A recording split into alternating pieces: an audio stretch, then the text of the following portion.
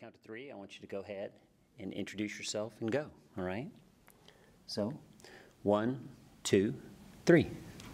My name is Lyle Sparkman, and I am the mentor for Miss Kyla Cross, who has been acquiring Ozark ballads and songs for the better part of four to five years. Miss Kyla, tell them about Barbara Allen. Yes, sir. Barbara Allen is Scottish in origin and very popular here in the Ozarks. No one knows when it was first sung, but the first written reference to it was in 1666 in the Diary of Samuel Pepys, where he praises a performance of the ballad. In Charlottetown, where I was born, there was a young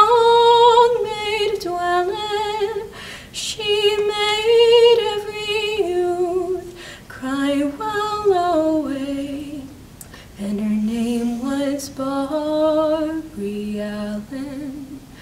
'Twas in the merry month of May.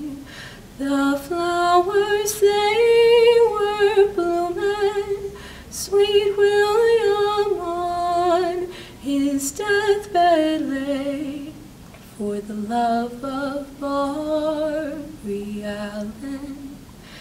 He sent a servant to the place, the house where she was dwelling. My master's ill, and he bids you to come, if your name be Barbary Allen.